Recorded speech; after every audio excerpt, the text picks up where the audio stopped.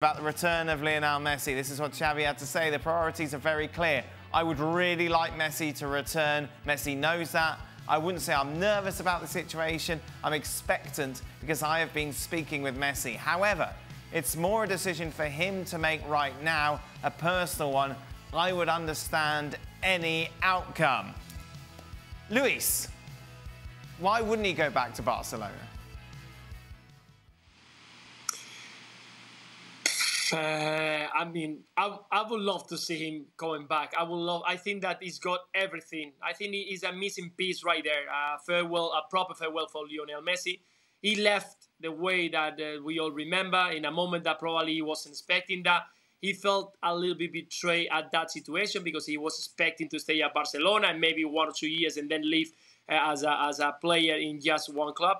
But uh, at, at this stage and the way that I've seen Xavi talking lately, I, I think that is, is a real option right there. Not uh, maybe a couple months ago with everybody was talking about we don't know maybe Saudi Arabia, maybe someone else, maybe MLS, maybe uh, he's gonna go with Busquets and Jordi Alba because they have a great relationship, so they already made a decision together.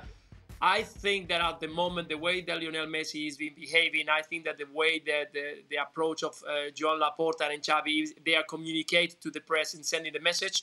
I think it's true that it's all about Lionel Messi feeling confident of getting back to the Camp Nou, have the farewell that everybody thinks that he deserves, and of course add something to the team that definitely we've seen in this uh, this season in Champions League. You need something extra, something that can um, uh, um, break uh, some difficulties during the games. That experience, that knowledge, and of course that talent that Lionel Messi has got. Yeah, he's gonna have fresh legs at last we all expect, but he can give you something extra that can help the young players. So I would love to see Lionel Messi back on, on Barcelona's jersey. Thank you very much for watching ESPN FC on YouTube. For more highlights, analysis, and exclusive content, be sure to subscribe.